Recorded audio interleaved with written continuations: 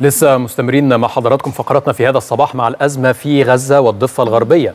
الأزمة والصراع اللي أصبح عمره 76 سنة كاملة. مارست خلالها دولة الاحتلال أبشع الجرائم في حق الفلسطينيين سواء بنتكلم عن قتل أو تشريد أو تهجير أو اغتصاب أراضي وغيرها من الانتهاكات في حق القوانين الدولية وأيضا الإنسانية. منها قتل الآلاف من الفلسطينيين وتهجير أكثر من مليون وربعمائة ألف فلسطيني كانوا من أهل فلسطين التاريخية. وللأسف حتى وقتنا هذا ما زالت الممارسات والجرائم الإسرائيلية مستمرة وعلى مرأى من العالم كله والدليل على ذلك هو عدوانها الأخير على غزة واللي ترك مئات الآلاف من الضحايا والمصابين والمشردين بلا مأوى. المزيد من التفاصيل ينضم إلينا على الهاتف أو تنضم السيدة رحمة حسن الباحثة بالمركز المصري للفكر والدراسات. أهلا بك سيدة رحمة يعني على مدار 76 عاما شاهدنا هذه الجهود المصرية تتوج خلال هذا التاريخ العريق ومساندة للقضية الفلسطينية على مدار عقود. يعني كيف ترين الدعم المصري والمساندة للشعب الفلسطيني وكذلك القضية الفلسطينية؟ صباح الخير استاذه مروه صباح الخير أستاذ باسم وعلى السادة المشاهدين. صباح النور. هو بالفعل الدولة المصرية بتقوم بدور تاريخي في القضية الفلسطينية. وتؤكد على فكرة ضرورة الحل الجذري للأزمة الفلسطينية سواء من خلال حتى حتى قبل 7 أكتوبر الماضي فقامت بالعديد من الإجراءات من أجل توحيد الفصائل الفلسطينية للتأكيد على حقهم في حكم الدولة الفلسطينية القائمة على مبدأ حل الدولتين.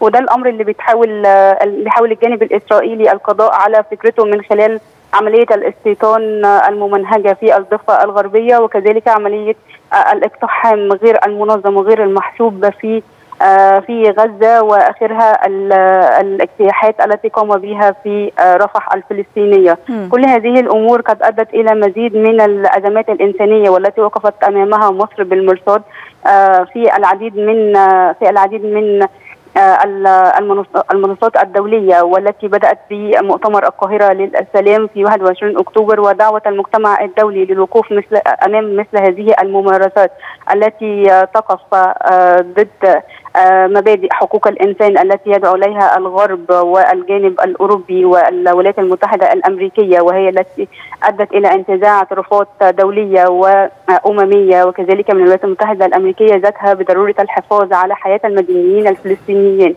كذلك نرى أن الأزمة الأخيرة ومع غلق المعابر إلى أن الممر البحري الذي قالت الولايات المتحدة أنها ترسل المساعدات من خلاله لم يكن كافيا كذلك لتلبية احتياجات القطاع وهو ما أعلن عنه منظمة الصحة العالمية وكذلك الأونروا.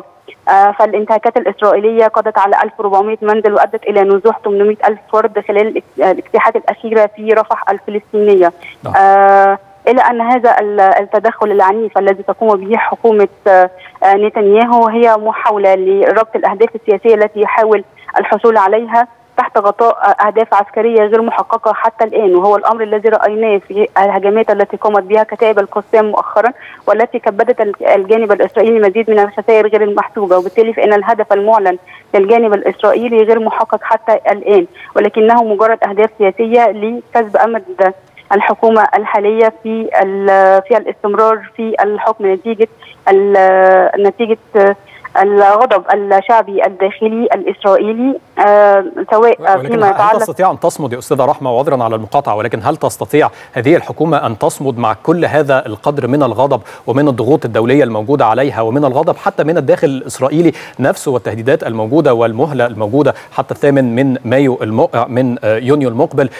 ده جانب خصوصا ان عايز أسأل حضرتك كمان على التصعيد من الجانب المصري في مقابل التصعيدات الإسرائيلية واستخدام مصر والدبلوماسية المصرية لكروت أيضا مع كل تصعيد من الجانب الإسرائيلي وبالتالي متوقع أيضا أن تكون من جانب القاهرة عدد من التصعيدات الأخرى في هذه المعركة السياسية.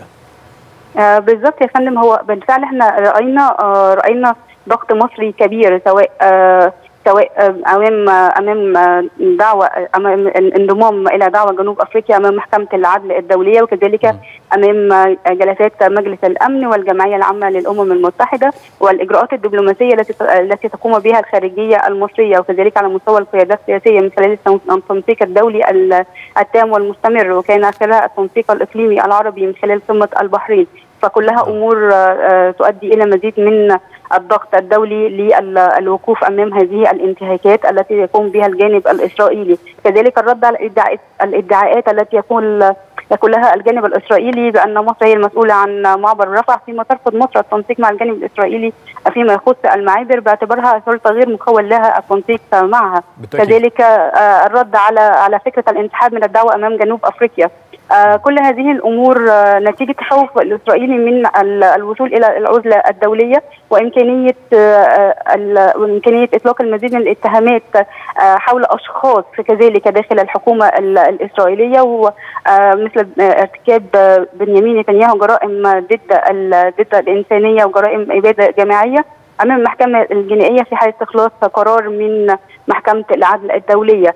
أو الجانب الاسرائيلي أو أو الرئيس الوزراء الإسرائيلي كذلك يعاني من من الاتهامات في الداخل الفلسطيني في الداخل الإسرائيلي عفوا. آه وكذلك آه الانقسامات الداخلية في الحكومة الإسرائيلية. فنجد اليمين المتطرف ممثل في وزير وزير المالية ووزير الأمن.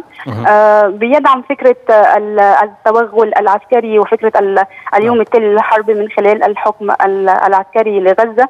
آه وكذلك رأينا وزير المالية آه يتحدث عن إمكانية اجتياح بري لجنوب لبنان في محاولة لكسب الداخل آه المتطرف الإسرائيلي. نعم ولكن هذا الانقسام بطبيعة الحال بالتأكيد لي يعني في أسباب مباشرة لي منها أنهم يعلمون جيدا أن مصر عندما تتحدث وتصرح هي لا تتحدث فقط هي دائما دولة الأفعال لا الكلام وبالتالي كل ما تم التصريح به من الجانب المصري يؤخذ بعين الاعتبار وكل التصعيدات السياسية والدبلوماسية من الجانب المصري أيضا تؤخذ بالاعتبار وهو ما تسبب أيضا في زيادة الانشقاق في الداخل الإسرائيلي. كل الشكر لحضرتك الأستاذة رحمة حسن الباحثة بالمركز المصري للفكر والدراسات الاستراتيجية.